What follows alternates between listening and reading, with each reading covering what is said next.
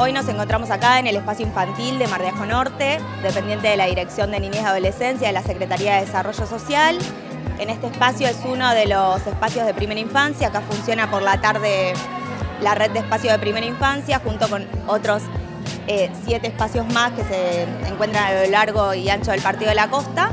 Así que bueno, hoy nos encontramos todos los equipos que conformamos la red de espacios de primera infancia, equipos de coordinación, de CAPS, eh, donde se encuentran también situados estos espacios, eh, los servicios psicosociales de la Secretaría de Desarrollo Social, el Servicio Local de Promoción y Protección de Derechos de Niñas, Niños y Adolescentes de la Costa y la comunidad educativa del Instituto 89,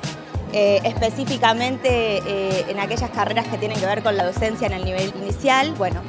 ahí nos, nos reunimos hoy para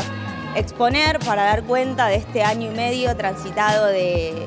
las políticas de primera infancia acá en la municipalidad. Bueno, la idea de este encuentro tiene que ver con poder dar cuenta de nuestra experiencia de trabajo, de nuestro